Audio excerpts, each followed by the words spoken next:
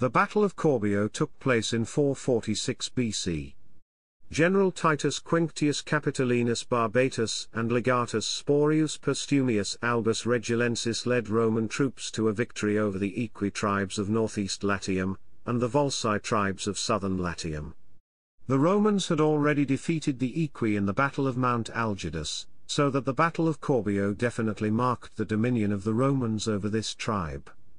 After an unsuccessful attack by the consul Spurius Furius Medullinus Fusus, Quinctius was given consular powers by the Senate so that he could defeat the enemy army which was besieging Furius. The enemy army outnumbered the Romans, so one part of their army attacked Furius' camp while the other part devastated Roman territory.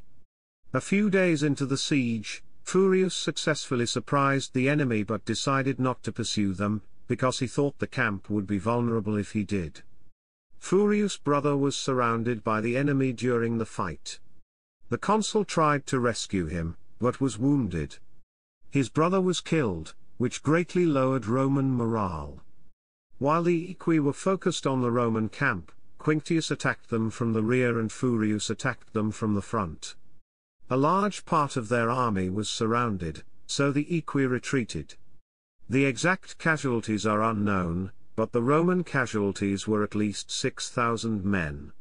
The Aequi didn't take major casualties during this battle, though many were killed in engagements after this battle.